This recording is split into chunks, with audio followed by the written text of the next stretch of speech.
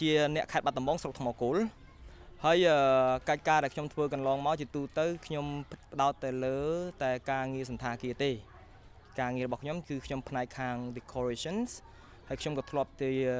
ជា General Manager របស់សន្តាគារមួយនៅខេត្តកំពង់ធំ Samo Village ដែលកាលនោះគឺនៅក្នុងឆ្នាំ2013ពេញឆ្នាំតែម្ដងគឺខ្ញុំបានទៅធ្វើការងារទីនោះដែលខ្ញុំទទួលបានប្រាក់ខែសមរម្យមែនទែន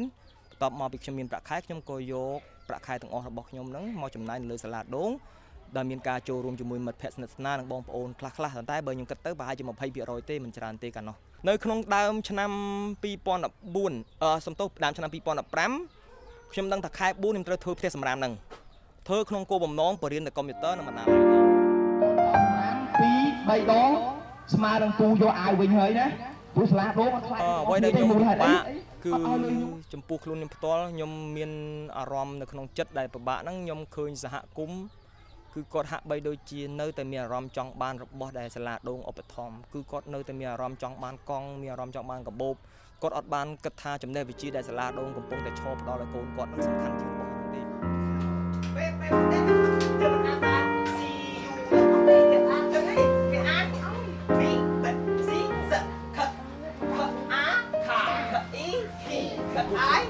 សម្រាប់ការបង្រៀនស្ម័គ្រចិត្តខ្ញុំមិនមានជាផលលំបាកច្រើនទេតែផលលំបាកខ្ញុំបាននិយាយមិញច្រើនដែរហ្នឹងគឺយើងកំពុងតែបង្រៀនក្មេងៗយើងមិនមែនយុវជនទេហើយក្មេងៗដែលយើងកំពុងរៀនជាក្មេងៗដែលជោគជាំជាមួយនឹងជីវិតចាស់ពួកគាត់តាមតែផ្ទះហ្នឹងណាគាត់រញ៉េរញ៉ៃគាត់មិនមានសម្ដាប់ធ្នាប់តែអ្វីអ្វីខ្ញុំកំពុងតែគ្រប់គ្រងពីព្រោះមូលហេតុអី